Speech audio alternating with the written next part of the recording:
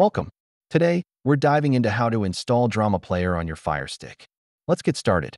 Before we begin, ensure you have your Fire Stick, a stable internet connection, and a remote handy. First, let's enable apps from unknown sources. Navigate to Settings, then My Fire TV, and select Developer Options.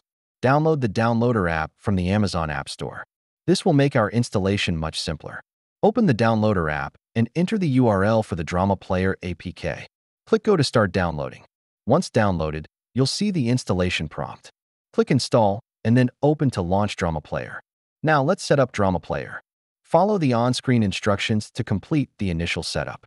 If you encounter issues during installation, check your internet connection and ensure that the APK URL is correct. Let's explore the features of Drama Player. You'll find a variety of shows and films to enjoy. That's it. Enjoy using Drama Player on your Fire Stick. Remember to keep your app updated for the best experience.